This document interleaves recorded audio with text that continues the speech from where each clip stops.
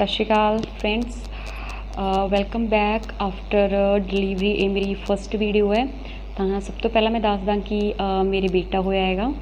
ਤੇ ਆਪਾਂ ਇੱਕ ਵੀਡੀਓ ਬਣਾਈ ਸੀਗੀ 9th ਮੰਥ ਦੇ ਵਿੱਚ, ਜਿਹਦੇ ਵਿੱਚ ਆਪਾਂ ਇਹ ਲਿਖ ਕੇ ਰੱਖਿਆ ਹੋਇਆ ਸੀਗਾ ਕਿ ਜੋ ਵੀ ਪ੍ਰੈਡਿਕਸ਼ਨ ਬੇਬੀ ਪ੍ਰੈਡਿਕਸ਼ਨ ਨੂੰ ਲੈ ਕੇ ਮਿੱਥ ਬਣੇ ਹੋਏ ਆ ਜਾਂ ਜੋ ਵੀ ਪੁਰਾਣੀਆਂ ਔਰਤਾਂ ਦੁਆਰਾ, ਸਾਡੀਆਂ ਵੱਡੀਆਂ ਔਰਤਾਂ ਦੁਆਰਾ ਜੋ ਦੱਸਿਆ ਜਾਂਦਾ ਹੈਗਾ ਵੀ ਇਦਾਂ ਹੋਣ ਨਾਲ ਬੇਟਾ ਹੁੰਦਾ ਇਦਾਂ ਹੋਣ ਨਾਲ ਬੇਟੀ ਹੁੰਦੀ ਹੈ, ਤਾਂ ਉਹ ਆਪਾਂ ਸਾਰੇ ਇੱਕ ਪੇਜ ਦੇ ਉੱਪਰ ਲਿਖ ਕੇ ਰੱਖੇ ਸੀਗੇ। ਤਾਂ ਉਹ ਪੇਜ ਮੈਂ ਤੁਹਾਨੂੰ ਦਿਖਾ ਰਹੀ ਹਾਂ।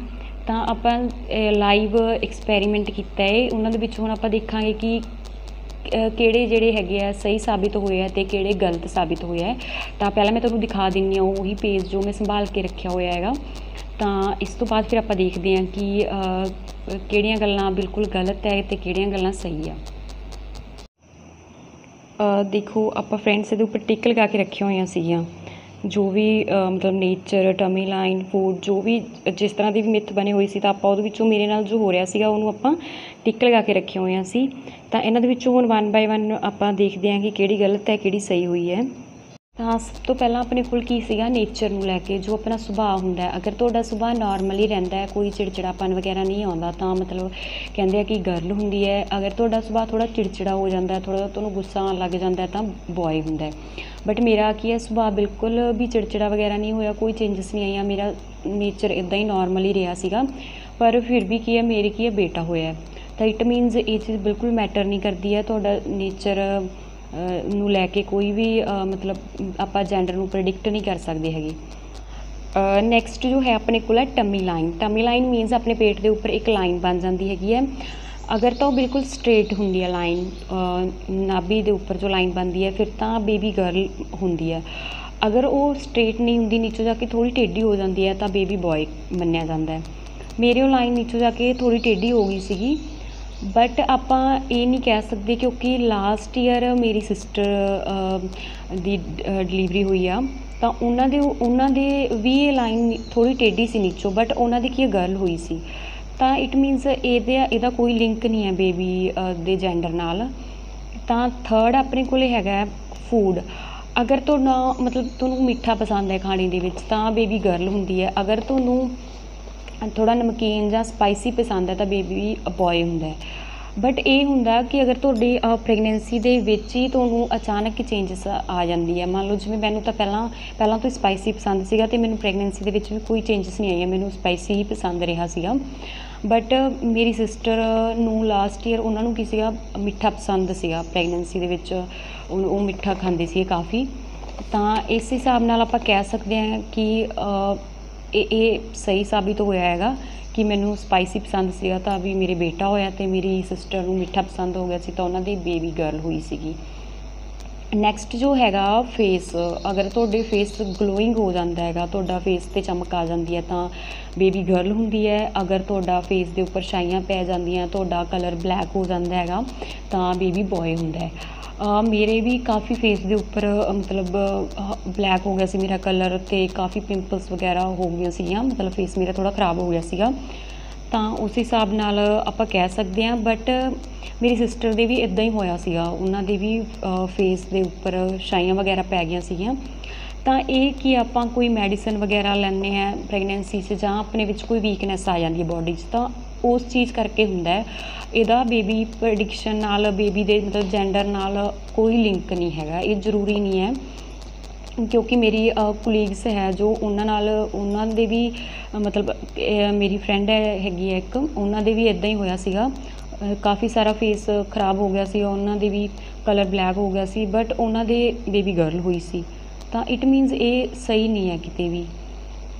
ਨੈਕਸਟ ਹੈ ਮਾਰਨਿੰਗ ਸਿਕਨੈਸ ਮਾਰਨਿੰਗ ਸਿਕਨੈਸ ਨੂੰ ਲੈ ਕੇ ਵੀ ਮੰਨਿਆ ਜਾਂਦਾ ਹੈ ਕਿ ਅਗਰ ਤੁਹਾਨੂੰ ਮਾਰਨਿੰਗ ਤੇ ਸਿਕਨੈਸ ਫੀਲ ਹੁੰਦੀ ਹੈ, ਤੁਹਾਨੂੰ ਥੋੜਾ ਫੀਵਰ ਫੀਲ ਹੁੰਦਾ ਹੈ, ਤਾਂ ਬੇਬੀ ਗਰਲ ਹੁੰਦੀ ਹੈ।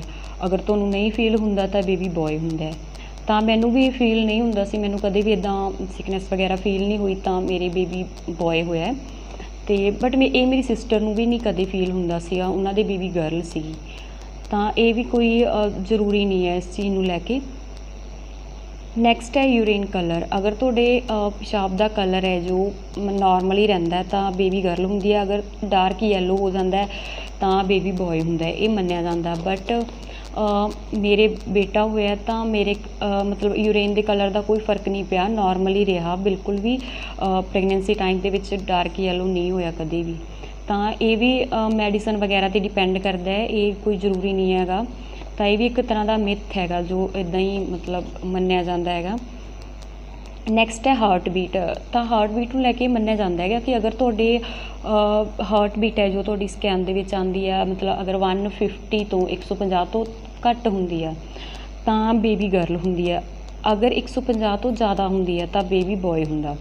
ਤਾਂ ਇਹਦੇ ਵਿੱਚ ਫਰੈਂਡਸ ਮੈਂ ਤੁਹਾਨੂੰ ਦੱਸਦੀ ਆ ਕਿ ਮੇਰੀ ਜੋ ਹਾਰਟ ਬੀਟ ਆਈ ਸੀ ਬੇਬੀ ਦੀ 153 ਆਈ ਸੀ।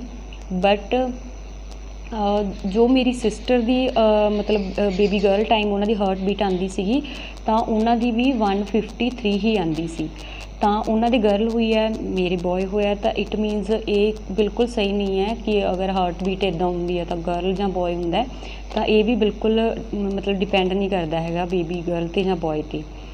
ਨੈਕਸਟ ਹੈ weight ਕਹਿੰਦੇ ਆ ਕਿ ਅਗਰ ਤੁਹਾਡੀ weight ਗੇਨ ਕਰਦੀ ਹੈ ਬਾਡੀ ਪੂਰੀ ਪੂਰੀ ਬਾਡੀ ਹੀ ਅਗਰ ਤੁਸੀਂ ਥੋੜਾ weight ਗੇਨ ਕਰ ਲੈਂਦੇ ਆ ਤਾਂ ਬੇਬੀ ਗਰਲ ਹੁੰਦੀ ਹੈ। ਅਗਰ ਤੁਹਾਡੇ ਸਿਰਫ ਟਮੀ ਨੂੰ ਛੱਡ ਕੇ ਮਤਲਬ ਤੁਹਾਡੀ ਬਾਡੀ ਉਦਾਂ ਹੀ ਰਹਿੰਦੀ ਹੈ ਨਾਰਮਲ ਕੋਈ weight ਵਗੈਰਾ ਨਹੀਂ ਗੇਨ ਹੁੰਦਾ ਤਾਂ ਬੇਬੀ ਬॉय ਹੁੰਦਾ ਹੈ। ਤਾਂ ਫਰੈਂਡਸ ਮੇਰੇ ਵੀ ਬਿਲਕੁਲ ਇਦਾਂ weight ਵਗੈਰਾ ਨਹੀਂ ਮੇਰਾ ਕੋਈ ਜ਼ਿਆਦਾ ਵਧਿਆ।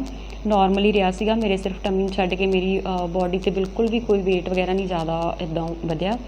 ਤੇ ਇਸ ਨੂੰ ਆਪਾਂ ਕਹਿ ਸਕਦੇ ਹਾਂ ਕਿ ਹੋ ਸਕਦਾ ਹੈ, ਕਿਉਂਕਿ ਮੇਰੀ ਸਿਸਟਰ ਦਾ ਉਹਨਾਂ ਦੀ ਗਰਲ ਟਾਈਮ weight gain ਹੋ ਗਿਆ ਸੀਗਾ ਕਾਫੀ। ਤਾਂ ਨੈਕਸਟ ਹੈਗਾ ਆਪਣੇ ਕੋਲੇ ਹੇਅਰ ਅਗਰ ਤੁਹਾਡੇ ਵਾਲ ਮਜ਼ਬੂਤ ਹੋ ਜਾਂਦੇ ਆ ਪ੍ਰੈਗਨੈਂਸੀ ਟਾਈਮ ਅਗਰ ਤੁਹਾਡੇ ਵਾਲ ਜ਼ਿਆਦਾ ਮਜ਼ਬੂਤ ਹੋ ਜਾਂਦੇ ਆ, ਤੁਹਾਨੂੰ ਫੀਲ ਹੁੰਦਾ ਕਿ ਹਾਂ, ਮੇਰੇ ਵਾਲ ਵੱਧ ਰਹੇ ਹੈਗੇ ਆ, ਤਾਂ ਗਰਲ ਹੁੰਦੀ ਹੈ। ਅਗਰ ਤੁਹਾਡੇ ਹੇਅਰ ਲਾਸ ਹੋ ਰਹੇ ਆ, ਤਾਂ ਬੇਬੀ ਬॉय ਹੁੰਦਾ ਹੈ। ਬਟ ਪ੍ਰੈਗਨੈਂਸੀ ਟਾਈਮ ਮੈਨੂੰ ਬਿਲਕੁਲ ਨਹੀਂ ਫੀਲ ਮਤਲਬ ਇਦਾਂ ਹੋਇਆ ਕਿ ਮੇਰੇ ਹੇਅਰ ਲਾਸ ਹੋ ਰਹੇ ਆ ਨਾਰਮਲ ਹੀ ਰਿਹਾ ਉਦਾਂ ਹੀ। ਈਵਨ ਮੈਨੂੰ ਇਹ ਲੱਗਦਾ ਸੀਗਾ ਕਿ ਸ਼ਾਇਦ ਝੜਨੇ ਬੰਦ ਹੋ ਗਏ ਹੈਗੇ ਮੇਰੇ ਵਾਲ, ਬਿਲਕੁਲ ਨਹੀਂ ਝੜ ਰਹੇ ਸੀਗੇ। ਤੇ ਪਰ ਮੇਰੇ ਬੇਬੀ ਬॉय ਹੋਇਆ ਹੈਗਾ। ਤਾਂ ਇਹ, ਇਹਦਾ ਇਹਦਾ ਵੀ ਕੋਈ ਲਿੰਕ ਨਹੀਂ ਹੈ, ਸਿਰਫ ਤੁਹਾਡੀ ਬਾਡੀ ਤੇ ਡਿਪੈਂਡ ਕਰਦਾ ਹੈਗਾ। ਜੋ ਆਪਣੇ ਵਿੱਚ ਕੋਈ ਇਦਾਂ ਦੀ ਵੀਕਨੈਸ ਆਉਂਦੀ ਹੈਗੀ ਆ, ਉਸ ਤੇ ਡਿਪੈਂਡ ਕਰਦਾ ਇਹਦਾ ਜੈਂਡਰ ਦੇ ਨਾਲ ਕੋਈ ਮਤਲਬ ਨਹੀਂ ਹੈਗਾ। ਨੈਕਸਟ ਇੱਕ ਮੰਨਿਆ ਜਾਂਦਾ ਕਿ ਲੇਬਰ ਪੇਨ ਅਗਰ ਤੁਹਾਨੂੰ ਪੇਨ ਬੈਕ ਤੋਂ ਸਟਾਰਟ ਹੁੰਦਾ, ਤਾਂ ਕੀ ਹੈਗਾ ਗਰਲ ਹੁੰਦੀ ਹੈ, ਅਗਰ ਤੁਹਾਨੂੰ ਪੇਨ ਮਤਲਬ ਫਰੰਟ ਤੋਂ ਸਟਾਰਟ ਹੋ ਰਿਹਾ ਹੈਗਾ ਟਮੀ ਸਾਈਡ ਤੋਂ, ਤਾਂ ਬੇਬੀ ਬॉय ਹੁੰਦਾ। ਤਾਂ ਇਹ ਵੀ ਗਲਤ ਹੈ, ਕਿਉਂਕਿ ਮੈਨੂੰ ਵੀ ਬੈਕ ਤੋਂ ਸਟਾਰਟ ਹੋਇਆ ਸੀ, ਤਾਂ ਫਿਰ ਮੇਰੇ ਤਾਂ ਬੇਬੀ ਬॉय ਹੋਇਆ ਹੈਗਾ। ਨੈਕਸਟ ਫਰੈਂਡਸ ਇੱਕ ਟੈਸਟ ਕੀਤਾ ਜਾਂਦਾ ਜੋ YouTube ਤੇ ਆਪਾਂ ਕਾਫੀ ਵੀਡੀਓਜ਼ ਦੇਖਦੇ ਹਾਂ ਕਿ ਸੋਡਾ ਟੈਸਟ ਕੀਤਾ ਜਾਂਦਾ ਹੈਗਾ ਜਾਂ ਇਦਾਂ ਬੇਬੀ ਪ੍ਰੈਡਿਕਸ਼ਨ ਨੂੰ ਲੈ ਕੇ ਟੈਸਟ ਕਾਫੀ ਦੱਸੇ ਜਾਂਦੇ ਆ। ਤਾਂ ਮੈਂ ਤੁਹਾਨੂੰ ਦੱਸਦਾ ਕਿ ਮੈਂ ਇਹ ਸਿਰਫ ਚੈੱਕ ਕਰਨ ਲਈ ਮੈਂ ਸੋਡਾ ਟੈਸਟ ਵੀ ਕਰਕੇ ਦੇਖਿਆ ਸੀਗਾ। ਉਹਦੇ ਵਿੱਚ ਕੀ ਕਿਹਾ ਜਾਂਦਾ ਕਿ ਅਗਰ ਤੁਸੀਂ ਸਵੇਰ ਫਸਟ ਜੋ ਫਸਟ ਟਾਈਮ ਜੋ ਯੂਰੀਨ ਕਰਦੇ ਹੈਗੇ ਆ, ਉਹਦੇ ਵਿੱਚ ਅਗਰ ਤੁਸੀਂ ਯੂਰੀਨ ਦੇ ਵਿੱਚ ਸੋਡਾ ਪਾ ਕੇ ਚੈੱਕ ਕਰੋ, ਅਗਰ ਤਾਂ ਬਬਲਸ ਹੋ ਰਹੇ ਹੈਗੇ ਆ ਤਾਂ ਬॉय ਹੁੰਦਾ ਅਗਰ ਬਬਲਸ ਨਹੀਂ ਮਤਲਬ ਉੱਠ ਰਹੇ ਤਾਂ ਗਰਲ ਹੁੰਦੀ ਹੈ। ਤਾਂ ਮੈਂ ਇਹ ਵੀ ਕਰਕੇ ਦੇਖਿਆ ਸੀਗਾ ਫਰੈਂਡਸ ਇਹ ਵੀ ਬਿਲਕੁਲ ਗਲਤ ਸਾਬਿਤ ਹੋਇਆ। ਤਾਂ ਇਸ ਲਈ ਆਪਾਂ ਇਹ ਕਹਿ ਸਕਦੇ ਹਾਂ ਕਿ ਇੱਕ ਸਕੈਨ ਤੋਂ ਬਿਨਾ, ਮਤਲਬ ਅਲਟਰਾਸਾਊਂਡ ਤੋਂ ਬਿਨਾ, ਇਹ ਜੋ ਵੀ ਗੱਲਾਂ ਆਪਾਂ ਸੁਣਦੇ ਆ ਇੱਧਰੋਂ ਉੱਧਰੋਂ ਜੋ ਵੀ ਕਹਿੰਦੇ ਆ, ਇਹ ਸਭ ਗਲਤ ਹੁੰਦੀਆਂ। ਆਪਾਂ ਨੂੰ ਇਹਨਾਂ ਤੇ ਯਕੀਨ ਨਹੀਂ ਕਰਨਾ ਚਾਹੀਦਾ। ਇਹ ਇਦਾਂ ਹੀ ਮਤਲਬ ਲੋਕਾਂ ਦੇ ਮਿੱਥ ਬਣੇ ਹੋਏ ਆ। ਤਾਂ ਸਕੈਨ ਤੋਂ ਬਿਨਾ ਬਾਕੀ ਆਪਾਂ ਕਿਸੇ ਤੇ ਵੀ ਆਪਾਂ ਮਤਲਬ ਇਹ ਕਹਿ ਨਹੀਂ ਸਕਦੇ ਹੈਗੇ ਕਿ ਬੇਬੀ ਦਾ ਜੈਂਡਰ ਕੀ ਹੋਏਗਾ। ਤਾਂ ਇਹ ਸਭ ਆਪਾਂ ਲਾਈਵ ਐਕਸਪੈਰੀਮੈਂਟ ਕਰਕੇ ਦੇਖ ਲਿਆ ਹੈਗਾ। ਹੋਪ ਕਿ ਤੁਹਾਨੂੰ ਮਤਲਬ ਵੀਡੀਓ ਪਸੰਦ ਆਈ ਹੋਏਗੀ ਤੇ ਥੈਂਕ ਯੂ ਅਗਰ ਤੁਹਾਨੂੰ ਵੀਡੀਓ ਪਸੰਦ ਆਈ ਹੈਗੀ ਹੈ ਤਾਂ ਪਲੀਜ਼ ਸਬਸਕ੍ਰਾਈਬ ਕਰੋ ਚੈਨਲ ਨੂੰ ਤੇ ਵੀਡੀਓ ਨੂੰ ਲਾਈਕ ਕਰੋ। Thank you